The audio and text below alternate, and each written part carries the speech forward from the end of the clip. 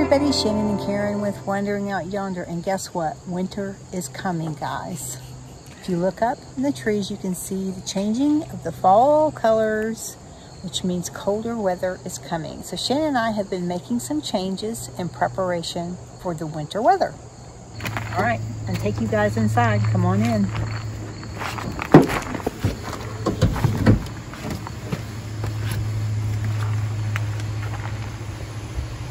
On some lights.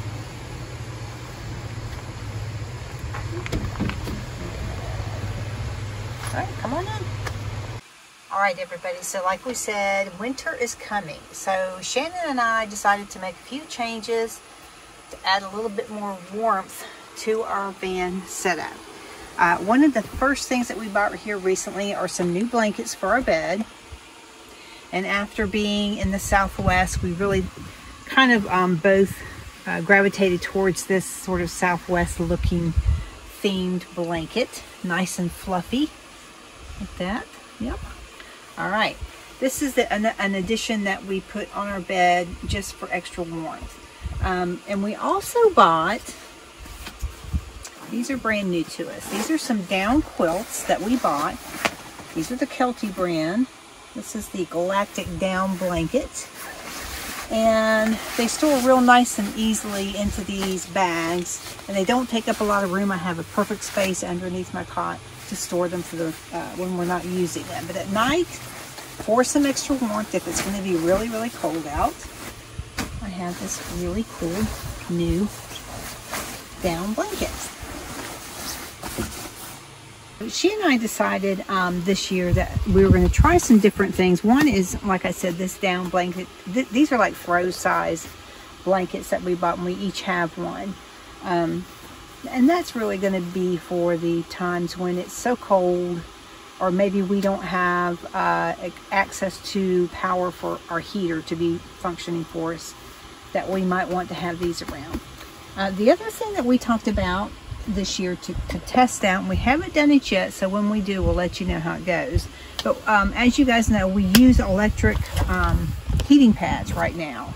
So when it's really, really cold out, or like if we have sore muscles or whatever, um, we've been using these electric blankets. These are just like Sunbeam, I think, is the brand, electric blanket. And these are things, they're fantastic for keeping you warm when it's cold in here too. You just take this and you put it across your body and you're warm. Um, one of the things that Shannon and I do every season is we go through the van and we redo everything. We set it up for spring and summer, and then when fall rolls around, we set it up for the cold weather. Well, with the cold weather coming, one of the things, again, we talked about using were these throw blankets. Right. We had, I had read, uh, Karen kept suggesting these electric blankets. Um, an electric blanket will take a little bit less power than these, but this particular blanket, we actually found at a yard sale. Mm -hmm which Karen's son is going to laugh. We paid a dollar for it. It's brand new. It's kind of a joke with Karen's son that we pay a dollar for everything at a yard sale, and sometimes we do. Um, but the reason that we went with this is it is a 12 volt yeah. power supplied mm -hmm. blanket, which means um, they're designed, they're, they're car blankets. They're designed to plug into the cigarette lighter in your vehicle. Now, we don't use this, I don't even think there is a cigarette lighter There's in the not. van. Mm -mm. Um, so we don't use this off of our van power. No. We do, however, use it off of our Jackery, our Growatt, any kind of external power that we can. That's how we charge, uh, that's how we use the heating pads, anything basically under a thousand watts, we can power off of those units. Right, and that's when we don't have land power. Right, right. so we had done some videos Karen did a lot of testing and experiments on how long our battery life would last to keep us warm. And I think more importantly, the achy muscles with the heat pads, how long we could get off of that. And what was it, three and a half hours? We figured that was with our Jackery. Now we yeah. have one of the smaller Jackeries. The Growatt with the uh, the Growatt that we have is a 550. Yeah, I believe. it's a thousand. So watt. there's more power with that one, so it will probably better perform for us if we're in a position where we do not have land power and we do need some either a heat pad or like Shannon said these um, uh, throw blankets. Right. here. So, long story short, the 12 volt, we should get longer usage out of the 12 volt because it doesn't have to be inverted as opposed to a regular plug. Right. So we are hoping to experiment with that. We have two back-to-back upcoming trips that we're going to be gone for almost a week with no power, with no, land, power. Right. And um up in the mountains. So and it gets cold. Yeah, the Mm-hmm. last time that we were at one of the destinations is one of the coldest times I remember camping, and I I was cold. Right. So I am all about trying anything to avoid getting in that situation again. So, we're we- hoping. yeah, we've not had a chance to test these out, and when we do, we'll let you know how it goes. Um, but like I said, we are trying to prep ourselves for some winter camping. We love camping in the winter. We love taking Fran out. Um, we are not the kind of people that hunker down in the winter. We are always looking for ways to add warmth to our living situation. Right, right. So some new blankets. That was that was a good start for us. Okay, so in addition to utilizing, of course, our very comfy warm bed, which by the way, guys, we have even underneath this bed, this is one of those Coleman cots, we have a, uh, Those are the Therma Ridge, uh, or I'm sorry, Thermarest sleep pads. right. So that is an insulation barrier as well as this um, mattress that we have here and all of our blankets and all of our extra blankets that we have here, heating pads. Uh, right next to us, we also have a pair of, each of us, we have some down booties. And let me tell you, you put these things on and your feet are warm. And if you feel like you need more warmth, you just stick a few of these on the bottom of your feet. You put them down in this and you are toasty, toasty warm. Yes. These, that trip that I was just talking about, that I was so cold, Karen had these in her arsenal, and that is what saved me that trip. Right. Yes. And we also keep handy, I know you guys have noticed like all our bins and everything here. We keep handy all of our uh, warm weather clothing when it's we're camping in uh, cold weather. So like in this um, this one right here, there's all of our thermal, you know, the smart wool, the pants, um, some extra socks, some of the waffle design. Um, I think this is a Patagonia piece that you have here, isn't it, Shannon? But anyhow, that's handy as well. So we really and truly, I think we're pretty much ready for um, some cold weather camping. All right, so everything that Karen just showed you, in case you haven't picked up on, we concentrate on keeping our bunks warm mm-hmm. as opposed to the entire van. We are not insulated. Mm-hmm. We don't live in the van full time. We take the van out on our adventures. Mm-hmm. So prior to van life, we were used to tent camping in very cold weather. So we learned to layer. We learned that how we dress and what we sleep in is how to keep warm. Exactly. And we applied that to the van. Right, because we did not want, as we've said this many times before, we didn't want to do the, the typical van build out with the cabinets and so forth. And again, if that's your your choice, that's fine.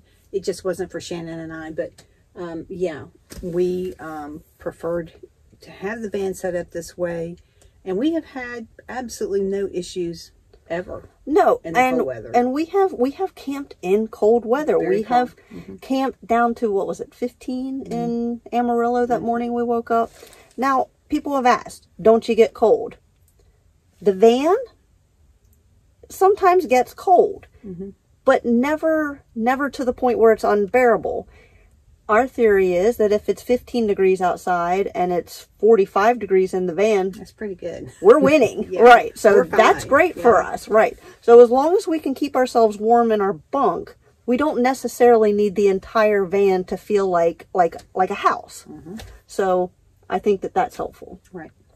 All right. So something that we figured out on our out west road trip was um we were keeping the van at a comfortable temperature. We can get the van up to what, Karen? In the 60s if if the weather and the conditions are right. Mm-hmm. But there was there was constantly a a draft here. So Even with the door closed. even we with the door closed, right, which is mm-hmm. not 100% closed right now because it's not winter, but when it's closed. So I found this at a Goodwill for a dollar. it is a down blanket. And I originally had gotten it for us to have for sitting around the fire, sitting around outside, and found that we weren't using it for that. So one night I decided to take the down blanket, some of our magnets, and now on those really, really cold nights, in addition to these come these come down, these are insulated. So that, that helps keep some of the draft coming in from the windows. But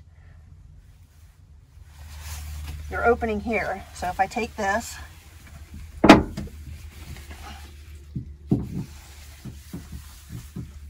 you get the picture. I just hang it up across the back.